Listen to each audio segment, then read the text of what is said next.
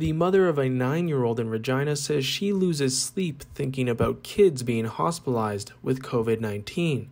Carrie Umperville's daughter Ava is recovering from the virus. Umperville was worried that there wouldn't be a hospital bed for Ava if she needed it. It just scares you. It it, make, it keeps you up at night, um, and you just pray that um, that when there's a bed, you know, if the child needs help, uh, help, kind of there's a bed available. Tuesday was another record setting day in the province. Saskatchewan reported 311 hospitalizations, an increase of 22 from the day before. And the number of patients in intensive care with COVID 19 rose to 65. While the Ministry of Health revealed there are no ICU beds available in six regions of the province. We need more human health resources in this province that do that can go into the specialty areas can go into different parts of the hospital can go into long-term care.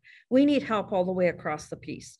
We're in trouble deep here in saskatchewan and we need to start acting like it from a leadership level. The federal government has offered to assist the province if needed but unlike alberta the saskatchewan government hasn't made a request. It's a decision that is a mistake according to the head of the nurses union. We have a federal government who is willing to help us and to refuse that is to be petty. And and we don't this is not the time to be petty.